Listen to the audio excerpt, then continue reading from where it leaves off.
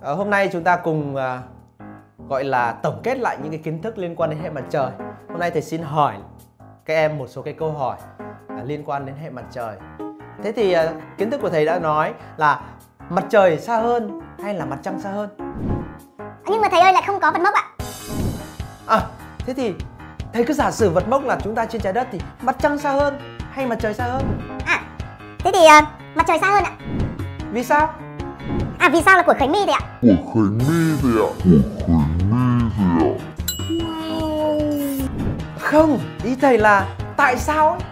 À tại sao ạ? Tại sao thì là của ưng hồng phúc ạ? Không, ý thầy là why ấy. Why, why trong tiếng Anh ấy. À why à? À why thì là của DBSK Hay là, là uh, DBSK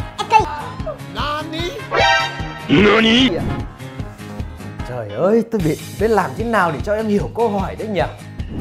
Phải làm thế nào Phải làm thế nào của Quân Bi Tuấn Anh ạ Quân Bi Tuấn Anh ạ Trời ơi! À trời ơi lại lại là của Lê Cát Trọng Lý thầy ạ Ôi, tôi đau tim quá không hiểu học sinh của tôi có thông minh gì đâu. À đau tim là của Lâm Trấn My thầy ạ Quá đầu luôn! Ra thẳng khỏi khỏi thằng lớp cho thầy.